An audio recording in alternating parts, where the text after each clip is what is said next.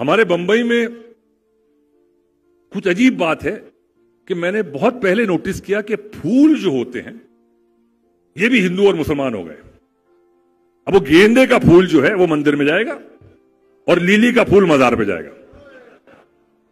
یہ ایکسچینج نہیں ہوں گے۔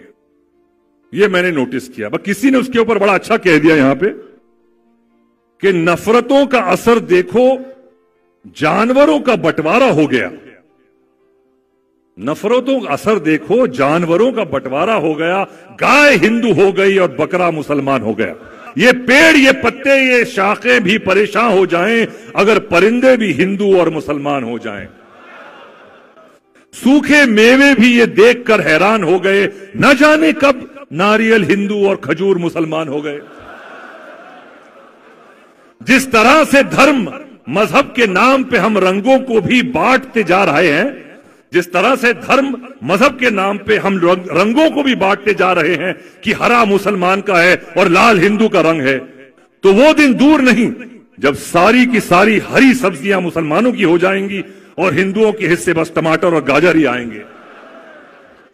اب یہ سمجھ میں نہیں آ رہا ہے کہ یہ تربوز کس کے حصوں میں آئے گا۔ یہ تو بیچارہ اوپر سے مسلمان اور اندر سے ہندو رہ جائے گا۔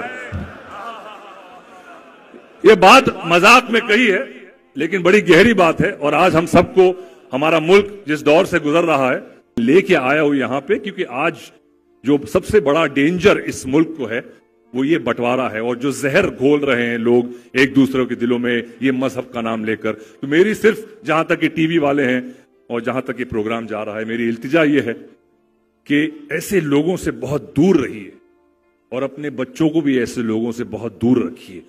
کیونکہ اگر اس دیش کی بھلائی اور سفلتا چاہتے ہیں، تو یہ سب سے پہلا قدم ہے کہ ان لوگوں کو اور ان کی ذہنیت کو ہمارے گھروں سے، ہمارے بچوں سے، ہماری بیویوں سے بہت دور رکھیں۔ یہ مذہب نہیں سکھاتا آپس میں بیر رکھنا، ہندی ہے ہم وطن ہے، ہندوستان ہمارا اور مجھے فخر ہے اس وطن پر، کیونکہ یہی وطن ہے، کئی وطن، کئی مسلمان ایسے وطن نہیں ہے جہاں آپ اپنے مذہب کو کھل کر بیان کر سکے ہندوستان ایک ایسا وطن ہے، ایک ملک ایسا ہے جہاں پہ کھل کے کوئی بھی آدمی اپنے اپنے مذہب کا، اپنے جو بھی جس دھرم میں ہو، اس کا پالن کر سکتا ہے اور میں سلام کرتا ہوں اس ملک کو اور میں شکر گزار ہوں کہ میں اس ملک میں پیدا ہوا ہوں، اپنے ملک جہاں پہ تم جس کی مٹی کے پیداوار ہو، جس کا نمک کہا ہے، اس کی بھی تعریف کرو۔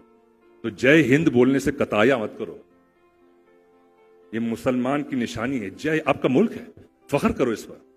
آپ کھل کر مجلس کر سکتے ہو، ماتم کر سکتے ہو۔ کئی جگہوں میں، دنیا کے اور ملکوں میں جاؤ نہیں کر سکتے آپ۔